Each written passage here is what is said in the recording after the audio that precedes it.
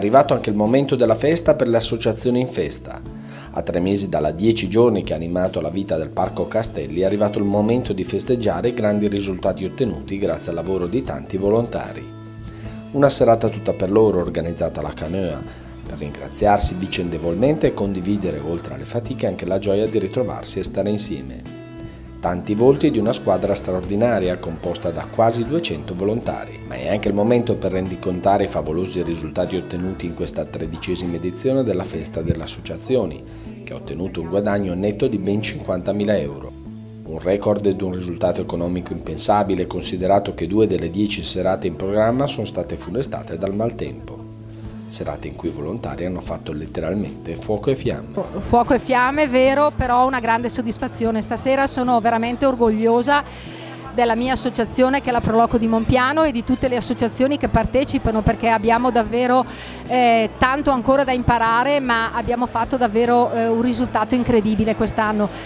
hai ragione, eh, nel senso che non solo dal punto di vista eh, dei soldi, perché comunque 50.000 euro sono tanti, ma anche dal punto di vista umano, perché questa è una festa dove interagiscono tantissime persone, tantissimi pensieri e questo è il fare comunità, fare rete, è la cosa più bella che ci sia. Sono ben 17 progetti di altrettante associazioni che quest'anno si sono divisi a vario titolo il contributo frutto del lavoro dei volontari, progetti nel quartiere di Monpiano ma anche all'estero dall'ampliamento della scuola Nikolaevka, costruita dagli alpini a favore dei disabili, al restauro della cappella di San Cristoforo nella chiesa di Sant'Antonino, dai progetti delle suore missionarie in Africa a quello dell'UNESCO Malaria in Ghana, portato avanti dal professor Castelli, e ancora l'acquisto di una handbike per promuovere lo sport per i disabili, l'aiuto alle famiglie in difficoltà sostenute dalla Caritas, i progetti nelle scuole del quartiere e il sostentamento all'orfanatrofio Casa Marisa di Kinshasa in Congo dove vivono 130 bambini in attesa di adozione,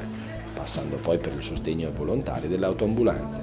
Questi e tanti altri progetti sostenuti. Sono progetti tutti interessanti, poi è chiaro che ogni associazione ha un suo progetto che porta nel cuore e noi abbiamo voluto condividere con questa associazione abbiamo dato appunto la possibilità di avere a tutti e 17 i progetti il contributo e spero tanto che siano contenti, però la dimostrazione è che questa sera siamo in tanti, quindi sicuramente lo sono. Premiazione alle associazioni, ma anche ai volontari stessi, dai più giovani ai più anziani del gruppo, un modo di riconoscere a tutti il ruolo importante svolto. Marina Rossi passa fra i tavoli cogliendo l'occasione per presentare anche i vari reparti operativi per il funzionamento della festa, dai baristi ai pizzaioli, dai cuochi alle cassiere, dai camerieri ai raccoglitori dei rifiuti per una differenziata arrivata al 93% del riciclaggio, fino alla squadra di gestione degli stand delle associazioni. Tanti compiti da svolgere, tante le cose da fare in una festa di queste dimensioni, capace di contare una media di 2000 presenze a serata